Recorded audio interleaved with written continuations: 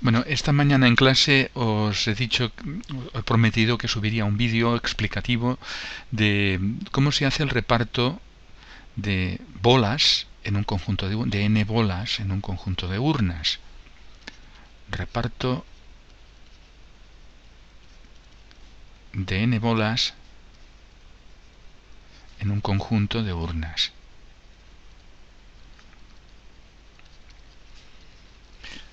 Se supone que las urnas son todas, mm, podemos distinguir unas de otras, pero en cambio se puede hacer esto de dos formas distintas o considerando las siguientes condiciones. Primera condición, que las bolas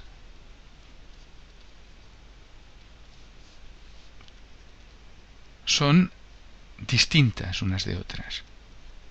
Es decir, tienen algún elemento característico mm, que permite distinguirlas unas de otras. Por ejemplo, podemos enumerarlas con un número. Voy a poner aquí si las bolas si las bolas son distintas, entonces vamos a ver cuántas eh, formas de ordenarlas tenemos. Si las n bolas, n bolas son distintas tenemos un conjunto de urnas. Vamos a llamar R al número de urnas. R urnas y N bolas distintas. Bueno, vamos a codificar el problema imaginando un conjunto de celdas donde ponemos la primera celda para la primera bola, correspondiente a la primera bola. Ya veremos el contenido de estas celdas a continuación segunda bola, tercera bola, hasta llegar así hasta la enésima bola. Muy bien. Entonces el contenido de estas celdas eh, será la, la urna que elegimos para cada bola. ¿De cuántas maneras, cuántas urnas podemos elegir para la celda de la primera bola. Es decir, las urnas serán los destinatarios de la primera bola. Bueno, pues podemos elegir evidentemente R urnas. Este, R, eh, número de elecciones. Número de elecciones de urna. Pues R. Como es posible que todas las bolas estén en una misma urna, entonces lógicamente mm, habrá también R elecciones de urna para la, para la, celda de la segunda bola, es decir, la segunda bola tendrá como destinatario, destinataria R, R posibles urnas, también para la tercera, y lo mismo para la enésima bola. Con lo cual, por el principio multiplicativo, así, por el principio multiplicativo, de independencia, el número de maneras de distribuir n bolas en r urnas va a ser r por r por r n veces n veces. Es decir r elevado a n. R elevado a n. Vamos a poner por ejemplo un ejemplo Ejemplo. ¿De cuántas maneras podemos repartir tres lápices de colores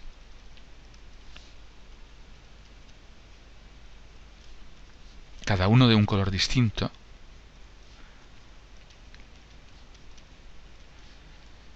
de un color distinto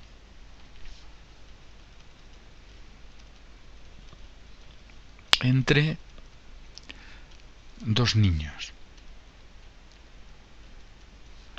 Bueno, pues entonces, fijémonos que ahora los lápices hacen el papel de bolas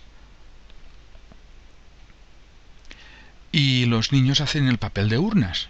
Entonces el número de posibilidades es igual a 3 perdón, A2 elevado a 3. Es decir, dos elecciones posibles para, la, para el primer lápiz, dos elecciones para el segundo y dos para el tercero, son 2 por 2 por 2, como tenemos aquí R por R por R n veces, pues estos son 8 posibilidades.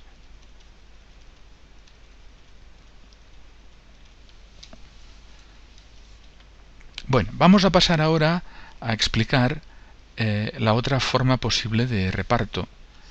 Hemos, hemos visto que acabamos de ver que las bolas ahora se han supuesto distintas unas de otras, reconocibles unas de otras.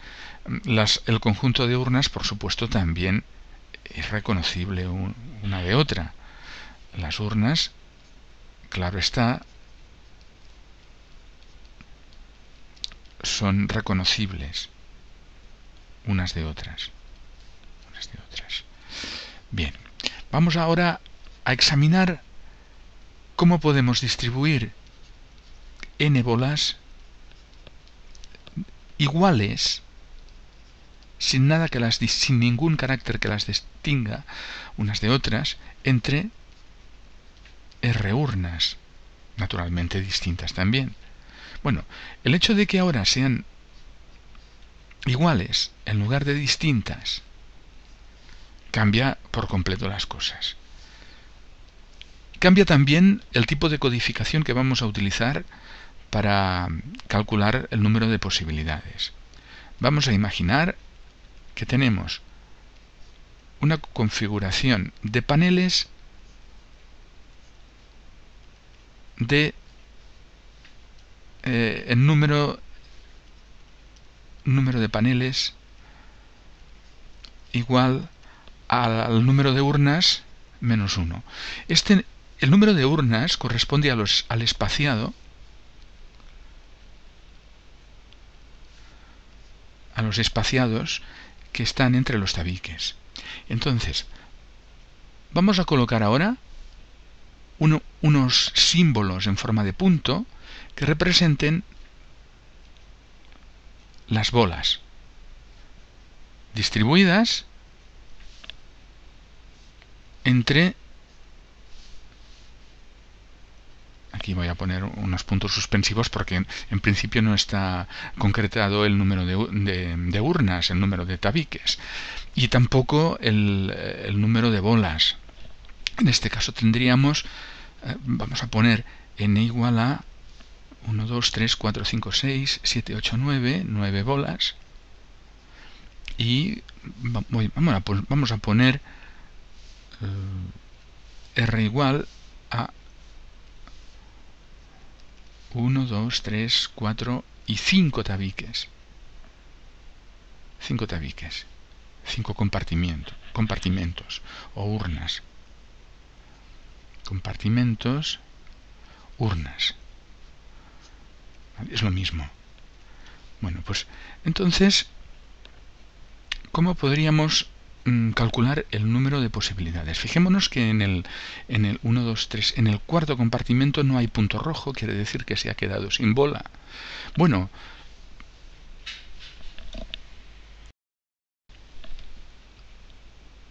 bueno pues eh, como decíamos, eh, se trata de colocar el conjunto de símbolos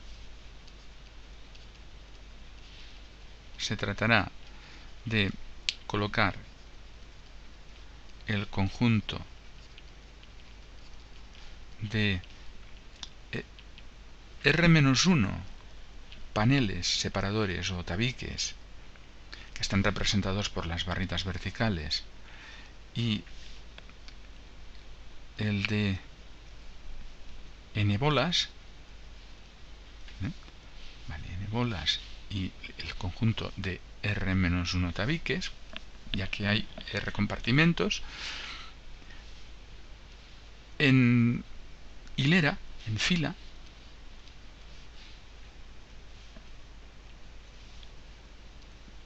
pudiendo moverlos, tanto, tanto las barras separadoras como las bolas, como los puntitos rojos, eh, tanto las barras separadoras grises como los puntitos rojos. una observación, hago una, pausa. Las, las paredes mm, de, la izquierda y de la derecha permanecen fijas. Esto está fijo. Solo lo he dibujado para representar la hilera de compartimentos. Pudiendo moverlos mm, eh, mm, colocándolos y por tanto colocándolos en la posición que queramos.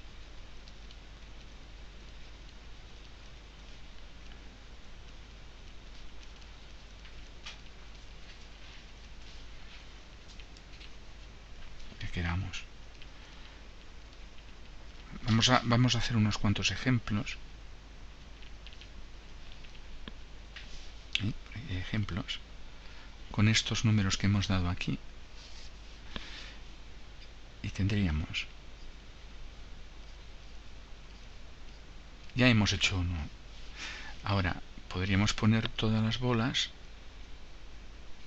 4, 5, 6 bueno, vamos a poner una aquí 7, 3, 6, 7, 8 y 9 eh, eso querría decir que las 6, 6 bolas están en el primer compartimento y una en el último y dos en el penúltimo y en los compartimentos del medio no hay nada. Y así podríamos ir haciendo distribuciones una tras otra. En fin, las que sean. Bueno, entonces se trata de resolver un problema de permutaciones con elementos repetidos. Es decir, ¿qué tenemos aquí? Tenemos n bolas, n símbolos de bola, n puntos rojos, más R-1 símbolos de, tabiques separadores. Si los permutamos, pues tendremos este factorial. Pero claro, como las bolas son iguales, debemos corregir dividiendo por n factorial, las permutaciones entre ellas, y también dividir por las permutaciones entre los símbolos de los tabiques separadores. Bueno, pues esto es lo que corresponde al problema de las combinaciones con repetición de n, en ese caso bolas, eh, cogidas de, en grupo, puestos en R sitios. Combinaciones con repetición, no importa el orden en este caso. Y mm, identificamos que esta expresión que, hemos deducido a partir de este razonamiento eh, se puede, es igual al número combinatorio n más r menos 1 sobre n y también a igual al número combinatorio n más r menos 1 sobre r menos 1. Lo importante es esto. En el ejemplo, en el ejemplo que hemos puesto, en el ejemplo tenemos n igual a, hemos dicho, n igual a 9 y r igual a 5. n bolas, 5 urnas. Entonces, pues n es 9 más 5 menos 1 factorial partido por 5 menos 1 factorial y 9 factorial.